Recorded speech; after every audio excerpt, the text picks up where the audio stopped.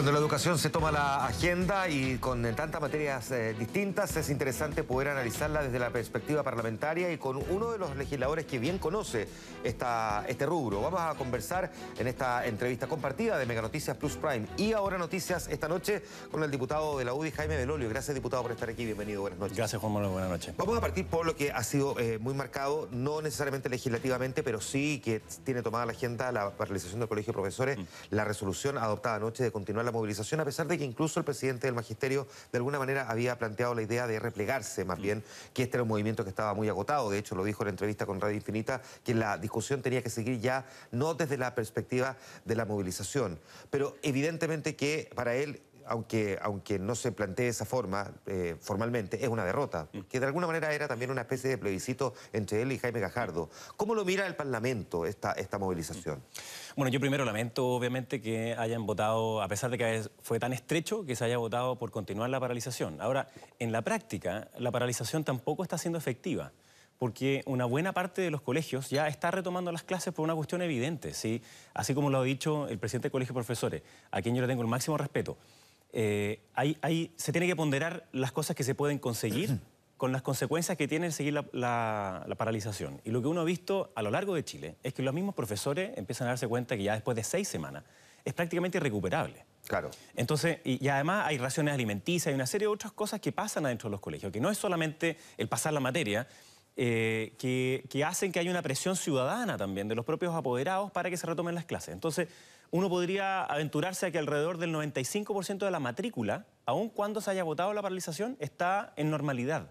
Entonces tampoco es que esta medida de votar la paralización sea tan efectiva para seguir presionando hacia un petitorio que ha sido contestado en una inmensa mayor parte.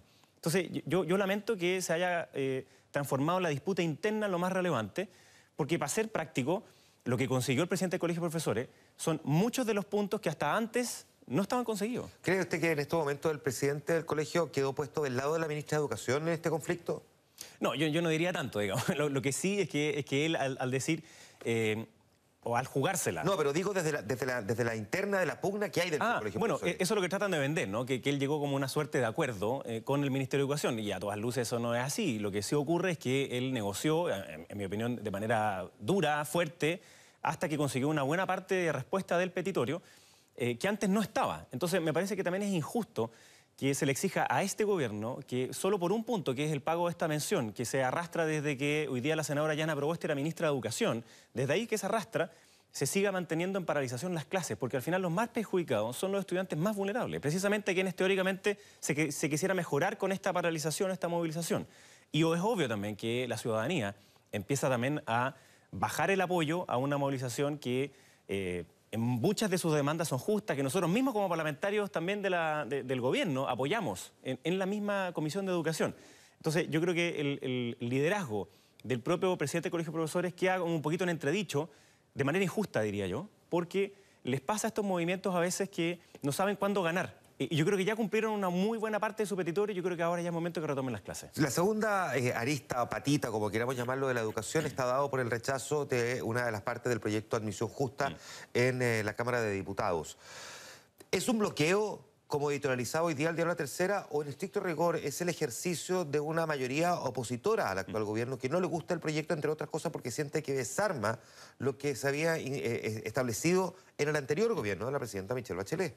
No, yo creo que sí es un bloqueo y yo creo que mostró la peor cara, sobre todo del Frente Amplio. Eh, a mí me parece que es inédito, no me ha pasado en los cinco años que llevo parlamentario que en una discusión de esta magnitud, así de relevante, alguien levante la mano para decir no quiero más debate. Es verdad, eso existe en el reglamento pero no se ha ocupado nunca porque es una cuestión básica, es como el fair play. No, es que aparezca dentro del reglamento, pero es una cuestión mínima dentro de las reglas del juego, el que tú puedas permitir que haya un debate sobre todo de esta significancia. Y lo que hizo el Frente Amplio el día martes en la noche es esperar a que faltaran tres minutos para terminar la sesión, levantar la mano y decir, ya se cumplieron que diez parlamentarios hablaron, como somos más, no queremos más debate. Y hubo 24 que no pudimos hablar. Es decir, yo lo que estimo es que primero les dio vergüenza los argumentos que ellos mismos tenían que presentar, porque no es cierto que se estuviera desmantelando el sistema anterior. Una última cosa respecto a la educación, eh, diputado Belolio, el Instituto Nacional que vuelve a clase, vuelve a mostrar alumnos lanzando bombas molotov, hemos visto la agresión que sufrieron los parlamentarios de la Comisión de Educación a la salida del colegio, no necesariamente apoderados, pero sí sufrieron una agresión por parte de adultos, no de, estudiantes. Eh, Déjeme eh, llevarlo a una mirada, si se puede, un poco más autocrítica de su sector. ¿Qué pudo haberse hecho mal o insuficientemente para que se extendiera tanto la movilización dentro del Instituto Nacional? Porque pareciera que la condena respecto del comportamiento violento es bastante generalizada. Y los que no la han querido condenar, la ciudadanía a su vez los condena. Pero, ¿qué se pudo haber hecho desde la alcaldía de Santiago que a lo mejor no se hizo en su momento? Mm. Yo creo que el alcalde de Sandri ha sido bien valiente en enfrentar una cuestión que era muy compleja, que venía arrastrada más del gobierno anterior municipal, que eh, fue un desastre para la educación pública en Santiago. Eh, sin embargo, obviamente se llegó a polarizar los, los, hechos, sobre todo en el instituto, como que se bajaron en el Instituto Nacional. Eh, pero había otros colegios que también habían tenido un conflicto, como el Darío Salas y otros, y que hoy día, el, IMBA, y hoy día están mucho más calmados y ya está totalmente controlado. Y yo sí quiero hacer una diferencia con lo que pasó en el Instituto Nacional, porque algunos han dicho los apoderados reclamaban. No es cierto, son cinco o siete extremistas que eh, justificaban la violencia con un desprecio hacia la dignidad humana, con un odio impresionante. Después algunos nos decían que sí, que efectivamente varios de ellos eran apoderados. Eh, a mí no me hicieron nada, pero a la diputada Hoffman le pegaron patadas en las canillas, a otros lo escupieron, al otro le tiraron café en la cara. O sea, estamos hablando de personas que simplemente no respetan las reglas básicas de una democracia. Y lo que se contrasta radicalmente con lo que pasó adentro. Y adentro habían estudiantes que fueron muy respetuosos, que nos hicieron ver las diferencias que habían. Había unos que nos decían, oiga, si quieren que nosotros podamos salir de esto, que se vayan los carabineros del entorno porque si no es como que estuviéramos sitiados. Y en la misma sala, otro cabrón nos dice, yo prefiero que estén porque tengo miedo de los encapuchados. Quizás la palabra que más nos repitieron fue esa, que tenían temor.